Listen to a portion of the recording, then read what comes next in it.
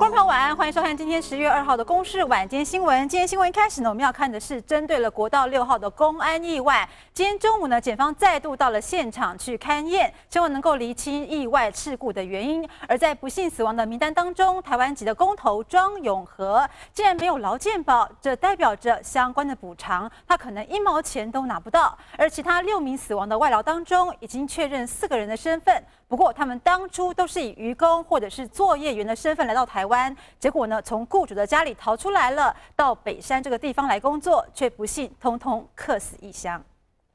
国道六号崩塌第三天，警方再度到现场勘验，而工程尽管停了下来，不过意外当时巨型钢骨和鹰架从高空坠落。从现场的状况来看，还有三只大型的钢梁已经歪斜，能不能拆除进行善后，还得仔细评估。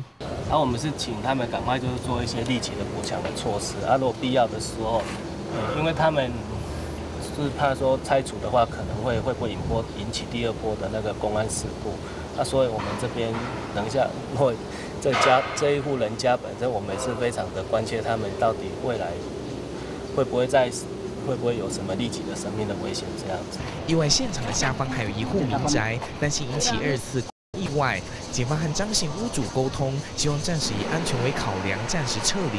工地现场安不安全都还得进一步评估。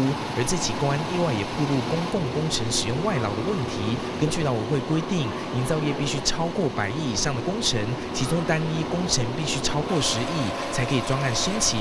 这起工程不符合规定，明显违法。我们的下包商他大概有找他找他的找他的在他的发包给他一个朋友的样子了。哎，那他他又他就因为呃他刚好欠工，然后他那朋友刚好也有工，所以就就找过来帮忙，然后刚好就不好，对不对？不幸就就发生这个意外啊。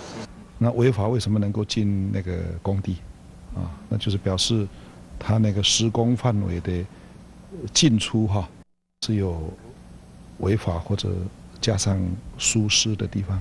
行政院长吴敦义强调，要全面清查目前全国三万三千多名不知去向的外劳，也要严惩非法雇佣外劳的单位。而六名死亡外劳中，已经确认四个人的身份，他们当初以渔工和作业员的身份申请来台，结果从雇主的家里逃出来，到北山交流道工地工作，全部客死异乡。目前正透过移民署等单位和印尼方面取得联系，不过都是非法打工，没有劳保，没有办法取得任何补偿。另外，台籍的领班庄永和因为是雇主身份，同样也没有劳保。不过家属可以得到每个月最高四千五百块的国保给付。只有林健生、彭焕群南投报道。